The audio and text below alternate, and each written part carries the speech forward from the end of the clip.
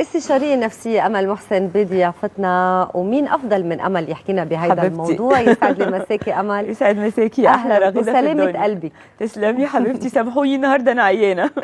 ولا منيح ما بتغني أمل. هيك أنا الحمد لله. مش بغني بس بتكلم بس بس. بالمعلومات ولا يهمك. بحرارة وبدون حرارة رح نسمع معلومات مفيدة. كمان بدي رحب بالسيدة آثار عاطف اللي رح بتشاركنا كمان بتجربتها. مساء الخير. أهلا وسهلا فيكي مدام أهلاً نورتينا. اليوم عم نحكي عن الطفل وكيف بتتحدد هويته الجنسية وفي بعض المشاكل وأنا بعرف إنه كتار كتار من الأهل هن بحيرة بهذا الموضوع. okay. ما بيعرفوا كيف بيتصرفوا. هل بالعقاب بيتم التصرف؟ هل بالتوعية؟ هل بالحوار؟ كل هدول رح نسألهم منك بس خليني بداية أبتدي وأسألك بأي عمر الولد بي- بيعرف حاله أنا ذكر وأنا أنثى؟ يعني بيعرف إذا بدك تحديدا هو إلى هي أي هوية جنسية ينتمي بصي آه الأطفال بيبتدي عندهم الاضطراب ده ممكن من من بعد سنتين لثلاثه يعني من خلينا نقول ثلاث سنين يبتدي يحصل اضطراب في الهوية الجنسية. يعني إيه اضطراب في الهوية الجنسية؟ يعني الولد مش بيبقى فاهم جملة لازم تبقى جواه وجوه البنت. أنا ولد أنتمي آه، يعني أنتمي لجنس الرجالة. يعني أنا هبقى راجل يبقى عنده عارف يعني إيه كده؟ بلبس لبس رجالة بأميل لأمي ومثلي الأعلى أبي. ده ال- الطفل السوي اللي عنده يعني الهوية الجنسية واضحة. البنت نفس الكلام. أنا أنثى وبنت أميل لأبي آه، أمي مثلي الأعلى. أحب لعب البنات وأحب لبس البنات. أوكي؟ نعم. لو الفكرتين دول مش موجودين عند الطفل من ثلاث سنين يبقى عنده اضطراب. أحيانا بيحصل مثلا لما يكون طفل وحيد ومدلل جدا ومامته طول النهار تقول له يا حبيبتي يا حلوة. يا بطة. يا بته يا قطة يا مش عارفة إيه. يعني في الأمهات كلنا عندنا حاجات بنقعد نقولها لعيالنا غريبة جدا. بيبقى حب وكده بس إحنا يعني مبقاش عندنا قوي ثقافة حكاية اللخبطة الهوية دي. فالولد اللي مش هيبقى عارف إن هو ولد وبيلعب بلعب الولاد وبيلبس لبس الولاد آه، وإنه مثله الأعلى باباه وإن هو يميل لمامته ودي حاجة فطرية جدا. ممكن بقى لما يبتدي يخش النيرسري يبتدي يحصل عنده الله يعني هيبقى في أوضاع كده بالنسبة له غريبة. ليه البنت بتخش التواليت بشكل معين وهو بيخش التواليت بشكل معين؟ ليه هو لازم يلعب بلعبه معين والبنات بيلعبوا بحاجة تانية؟ فيبتدي يبقى عنده لخبطة. لو لو لو يعني لو استبعدنا الخلل الهرموني يعني أول حاجة نستبعد فكرة إن في سبب عضوي. نعم. نستبعد الخلل الهرموني. هي بننتقل لها بمرحلة ثانية بنحكي عنها عنوية أكيد okay. آم، التربية بقى ليها عامل مهم هنا. مم. كويس؟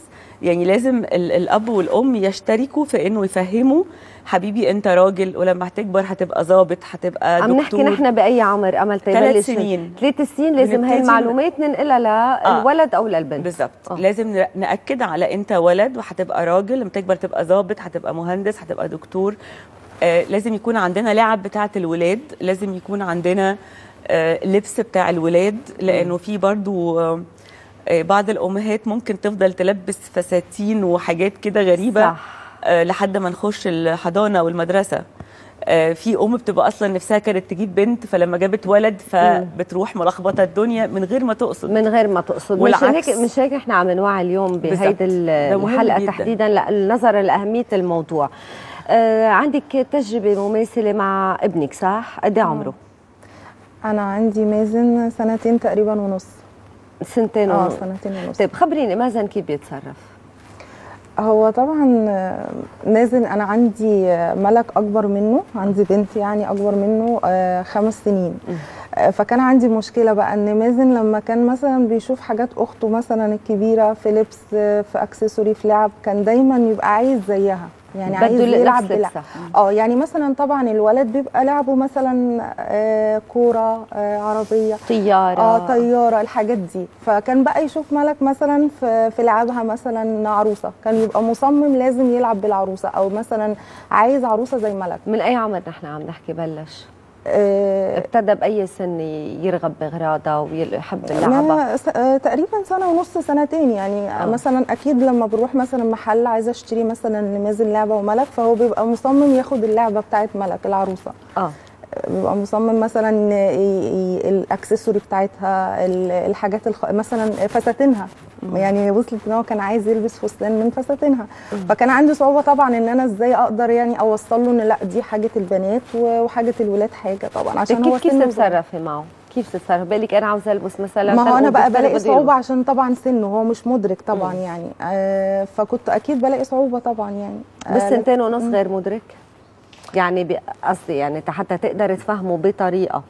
إنه هيدي لاختك وإنت ولد وهي بنت. لازم تأكد على المعلومة دي طول الوقت. إنت ولد وإنت راجل هي بنوتة. في عايزين نفرق بس ما بين حاجتين. غيرة الإخوات أوكي و آه، انعدام الهوية الجنسية. يعني دي دي تفرق كتير.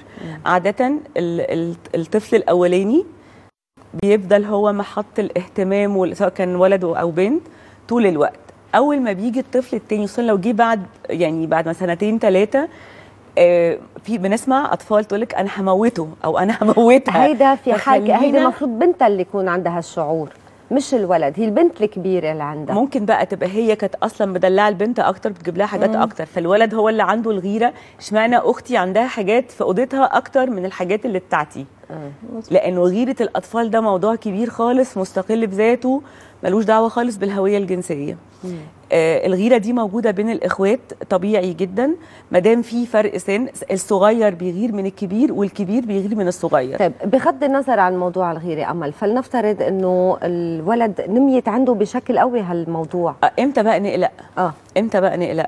لما نلاقي إن الطفل رافض الهوية بتاعته سواء كان خلينا نتكلم على لو كان ولد. الولد ممكن يوصل لمراحل في المدرسة إنه يرفض يخش التواليت بتاع الرجالة.